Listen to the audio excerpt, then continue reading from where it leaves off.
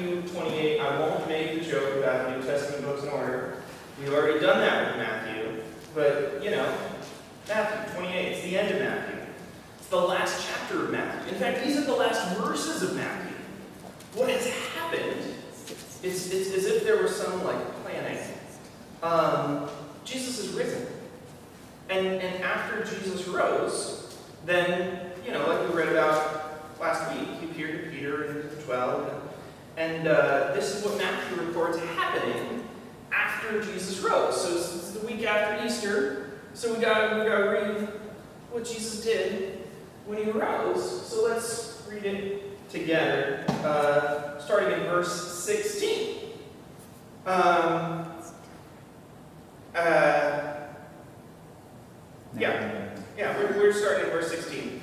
So Jesus is risen. The 11 disciples, they, they hear about it.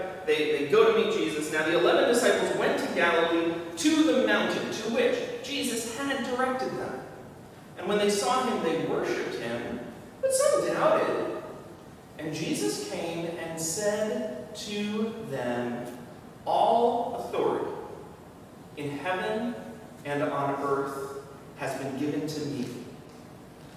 Go, therefore, and make disciples of all nations, baptizing them in the name of the Father, and of the Son, and of the Holy Spirit, and teaching them to obey everything that I have commanded you, and remember, I'm with you always, to the end of the age. There's the Word of God. Thanks be to God. And that's the word of St. Matthew. That's, that's how he ends the book.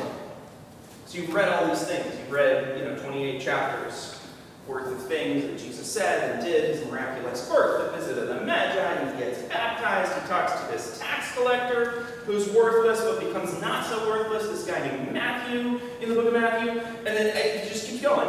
And he gets all the way to this, he rises from the grave, trampling over death by death, and then Jesus says, uh, all right, it's your turn, and he leaves. And, and the book ends on like that moment, on like, now you do it.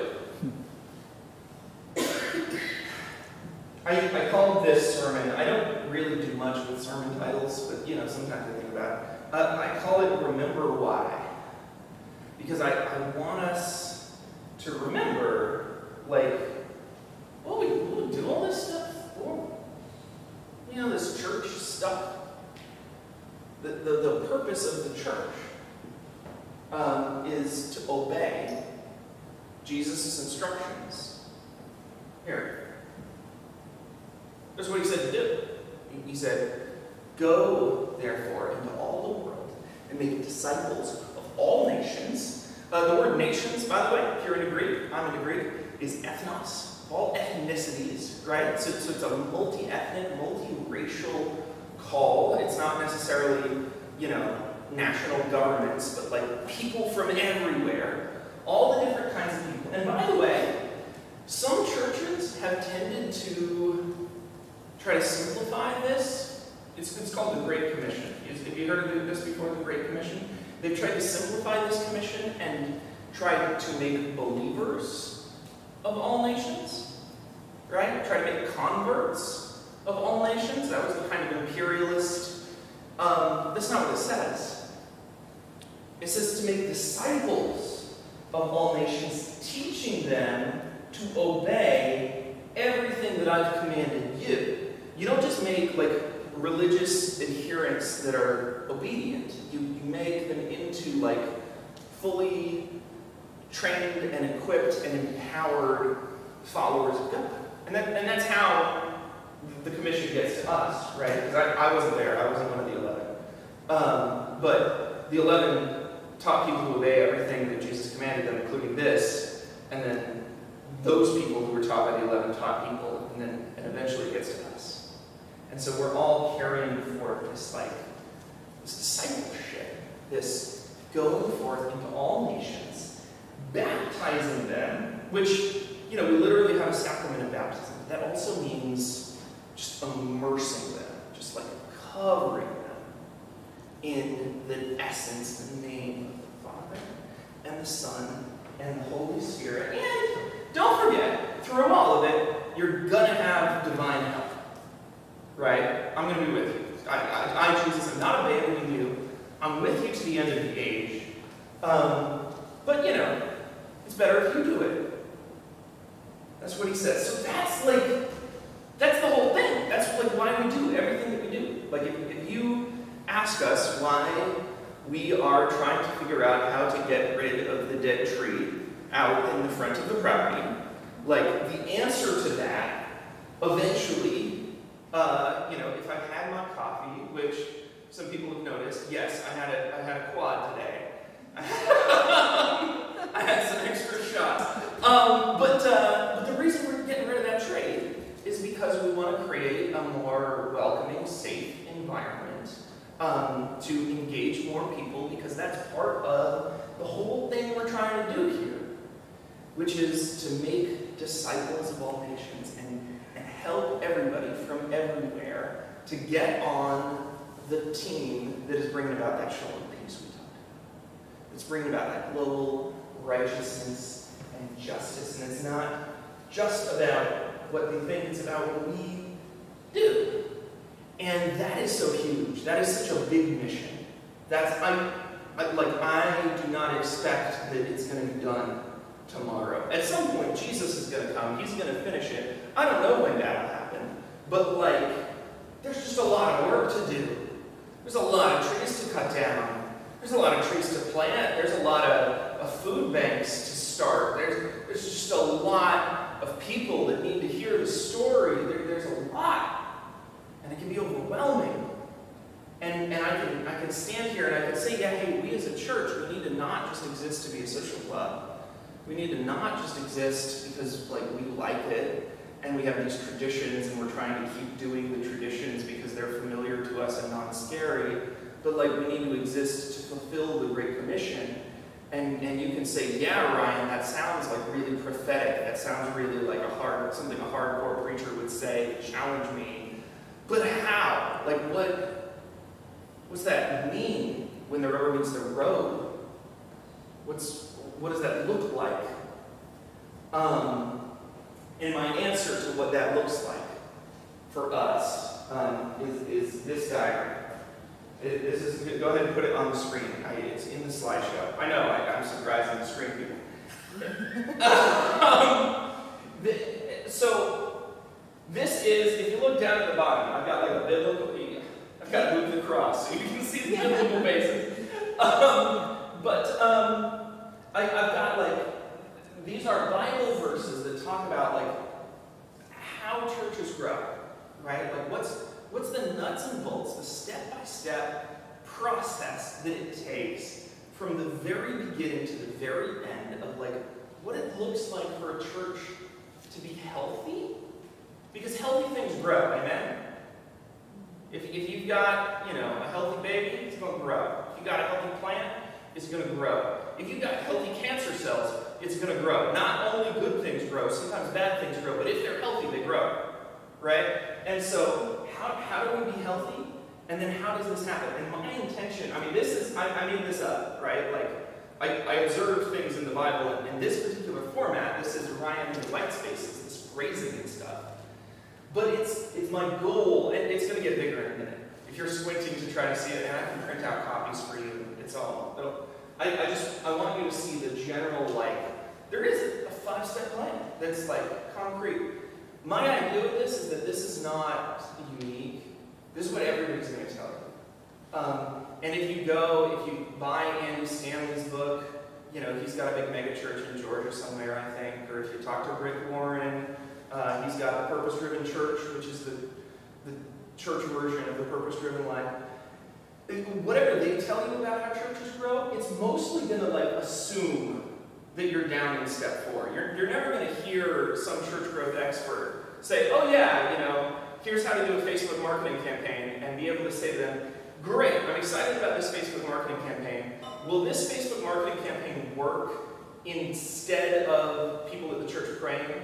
Like if people at the church don't pray and, and don't want new people to come, uh, will the Facebook marketing campaign make up for that?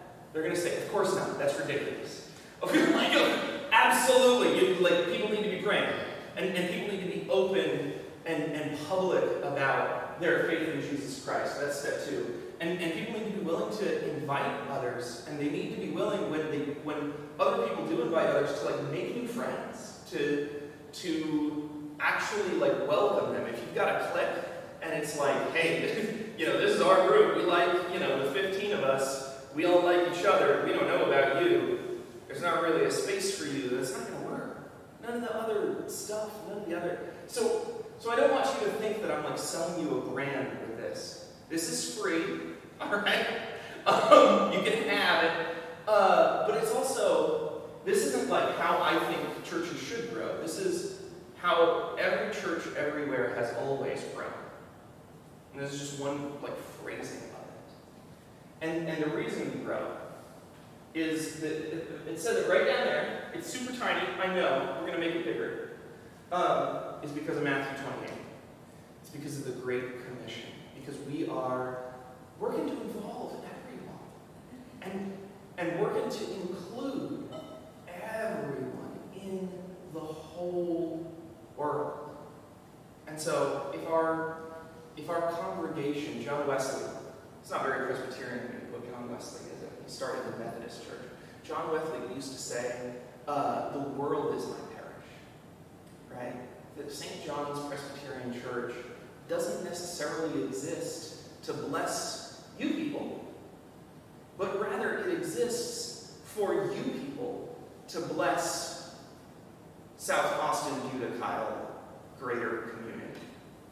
That's our parish. That's our, that's why we exist. That's who we're here for, is, is all the people who aren't here. You guys are the leaders. You guys are the ones that are like in charge of bringing that blessing. That's why we read Genesis 12. Right? God said to Abraham, who was like the first person that God kind of started this process with, the covenant passed down to Abraham, Isaac, Jacob, out into Moses, to King David, and on to Jesus. I'll bless you so that you can be a blessing. And all the nations of the earth are blessed through you. And those words that God said to Abraham, God wants to say to you right now. Amen? You with me on this? A little bit. That, that was like a scared amen. I was like, mm-hmm. all right. See where I'm not sure I like it. It's a little scary. All right, good. Let's go to the next slide. We'll, we'll bigify. All right. So it helps to focus. And, and here's the thing. At the beginning of the year, I started you with prayer. And, and we talked for like multiple weeks about, hey, I, I, I want to challenge you pray. And I, I don't want you to just pray for what you want. I don't just want you to pray. Uh, like you can pray that your diet will work. You can pray that, that God will buy you a Mercedes-Benz. Those are, those are things to ask for. God might say no, but, but you can pray for it. Um, but I also want you to learn to pray for the things that God wants, not just the things you want. And specifically, and you know, this is this is the uh, the best practices. This isn't in the Bible that you have to pray for two or more people. Um, but my experience with churches, it, it is in the Bible that you need to pray, and you need to pray for, for the things God wants. You need to pray for the mission of God, right? That's going to be good for you. Um, and, and the nuts and bolts, because people like breadcrumbs, is I want to challenge you to pray every day for at least two people, two or more people. Two is a good number, really. You can pray for as many people as you want, but like I would I would pick two specifically to be like your two. So you know who your two are. Besides your family. So again, you can pray for your family, Um, but, but pray for two people besides your family who need to come to church, need to know Jesus. And, and we're not going to play games. We're not going to do the, oh, well, they say they're a Christian, but I don't know if they really. Just pray for them. This is when in doubt, you know, it's, it, the, the goal is not to like be the, the eternal judge. The goal is to say, hey, these people need more Jesus in their lives. These people, uh, uh, God, I, I know you have a heart for those people. I want to pray that you would send someone to reach these people that are in my life. I'm going to pray. They're going to be one of my team. And what I said was that if you start to do that, then some of the stuff further down on the list is going to seem a lot more approachable. And you know what happened? Literally, we're talking about this year, folks. Like we're seeing miracles in front of our eyes. All right? You did it. You, you like listened to the things that the preachers said, and, and some of y'all started praying. I can tell. Like I, I, I, I feel that like the, the warmth in this room, like there's more prayer, there's a different kind of prayer that's going on in this community, making a difference. I, like, and part of that difference is that those of you who've begun to pray, and again, you know, this isn't, it's not like first step. First step, go out and like talk to strangers about Jesus, right? First step is pray. Privacy of your own home. I don't even know if you've done it or not. But start to pray for the things God wants. Start to pray, thy kingdom come, not my kingdom. And now, I feel like y'all are ready for step two, which is communication. Um, I, I phrase it, be open and public about your commitment to Jesus and practice talking about what you believe with others. You see that word practice? Practice is important, but, but that means that like you could be doing it with, with other people in the pew with you. I'm, not asking you. Step two is not um, find the angriest atheist college professor you can and engage him in debate and win him over to Jesus Christ. All right? Newsboys may not be happy that I'm not telling you to do that, but I'm not telling you to do that. um, what I want you to do is to, to realize that even though that, that some of us have learned a bad habit, um, and we've learned to make our faith and our Christianity this like very private thing, and this like secret, like like only the Census Bureau will know that I trust in Jesus. right? Um, and that's not how it has to be. Like you, it's it actually can be a thing that affects every aspect of your life. It actually can be a thing that like people can know about you and not in a creepy way. Right? Like you don't have to have to be obnoxious and tell the person making your Subway sandwich, like, yeah, I like pickles, and do you know you're a sinner? In order to be able to, like, communicate that you are. In fact, at Subway, I think one of the best ways that, I, have said this before, they shall know ye are Christians by your tips. right? Um, show love, show generosity, show that your God is not the almighty dollar but your God is Jesus Christ. And when people ask you about it, which they will, uh, you're ready to answer. And, and here's what's going to happen if you practice, if, if you get ready to answer, if you know what you believe, why you believe it, if you, if you can articulate, like, which is a hard question, right? Like, what is the gospel? What is, why are you, why do you trust in Jesus? Who is Jesus to you? And there are lots of, of good answers to that question. There are some bad answers to that question, but there are a lot, there are multiple good answers to that question. And if you know one of them, if you know one of those good answers that's, that's true for you, um, a miracle is going to happen. I promise. The same thing as prayer. When you're ready to communicate your faith to other people, God's going to start putting people in front of you who, who need your faith communicated. To them.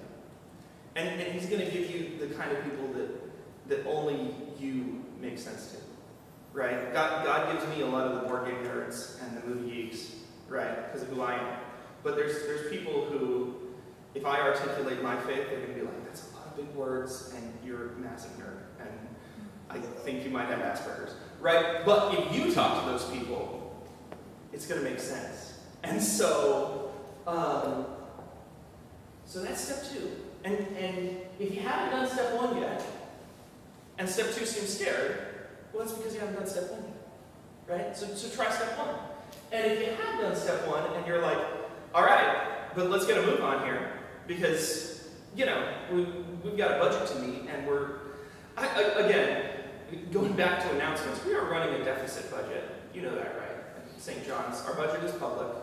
Um, we, we have uh, money in the bank, we have a, a fund, an endowment, um, but we are dipping into that endowment at a rate of about $60,000 every year. Um, and we're going to run out of it, and then we're going to be borrowing money. Um, and so, uh, like, we got to do something, and we know that. Um, but, but, and this is the remember why thing. So, so I bring that up to say, hey, if you're if you're at that point you're like, well, it's great that I've been praying, but like, I want to do more. I'm ready. Here's more, right? You, you want to do more? Come up to me and say, hey, Ryan, I just want to talk to you about why I believe in Jesus. I'm going to say, great, yeah, I'll, I'll listen. I'll, you know, give, give, me your elevator speech. Give me your, you know, or, or hammer. Sometimes people are just external processors. And I just need to, you know, talk things out to know what they really think about things. Yeah, do it. And do it with your friends, too. But be ready to be public. Be ready to be out of the closet. I actually think there's a lot we can learn about how to be Christians from the LGBTQ community. Um, right? That's it, they, and one of the things is that they they know how to be who, who they are in front of people, right? They know how to live out loud, and, and we were meant to live out loud, but in some ways we we stopped, and the LGBTQ community started, and we need to we need to learn that back from them. Um, that's communication. Now, I, I, want to go back to this budget, because now I've, kind of opened up a, a brief hole in this sermon. Y'all, money's not God.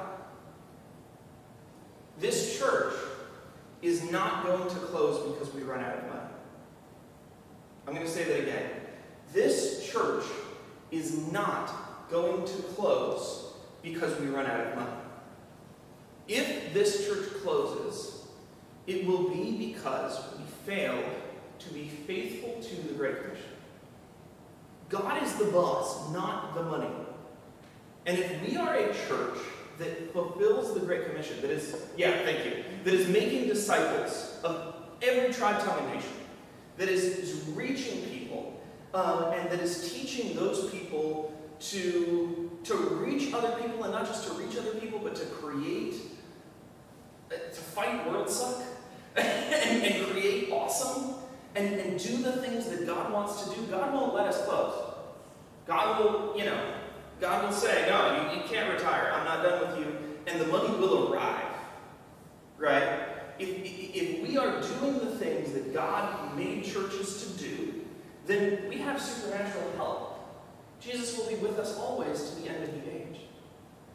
If this church, and, and I'm going to be real with y'all, in the past we have, it allows ourselves to become a distraction from the Great Commission, if, if St. John's Presbyterian Church becomes something to do instead of working towards the mission of God, and we start working towards the mission of St. John's Presbyterian Church, which is just to exist for its own sake, not for Jesus' sake, um, just to exist for, for each other, then we will close. I don't care how much money there is. There are plenty of churches in the world that are sitting on more expensive land than us, with bigger bank accounts than us that are going to close. They are failing. And the reason they're failing is because they're not doing the things that churches are for. And there are plenty of churches that are starting right now, that are starting this week, deep in debt. They've taken out massive loans, they don't own a building, but they've got a couple of people, and those people are committed to the Great Commission, and many of those churches are going to succeed.